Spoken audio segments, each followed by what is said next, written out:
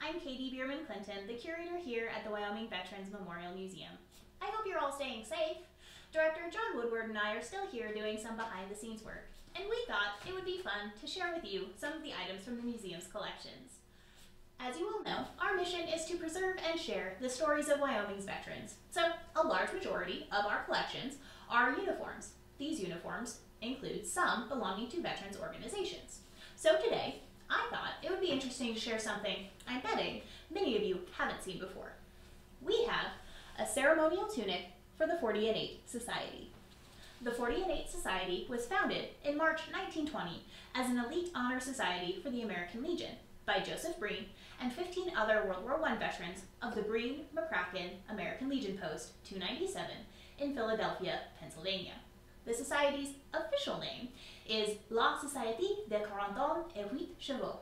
This name translates into English as the Society of 40 Men and 8 Horses. It is a direct reference to the experience of American doughboys during World War I, who were shipped on the French railway in boxcars.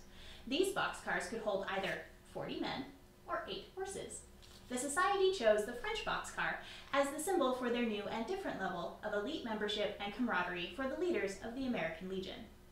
In 1960, the 40 and 8 became an independent organization separate from the American Legion. According to their website, membership is by invitation of honorably discharged veterans and honorably serving members of the United States Armed Forces. They are committed to charitable and patriotic aims, including the well-being of veterans, their widows, widowers and orphans, and to programs that promote child welfare and nurses training.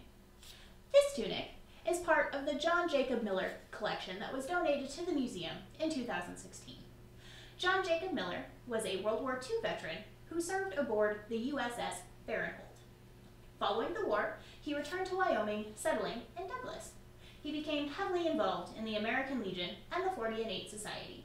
His collection includes 40 and 8 paraphernalia, including stationery, membership cards, and pins. That's all I have for today. Thanks for watching. I hope you enjoyed it. If you liked the video, make sure to share with your friends. I'm sure they needed a distraction from all the social distancing. Remember to stay safe, and we'll see you all once we're through this.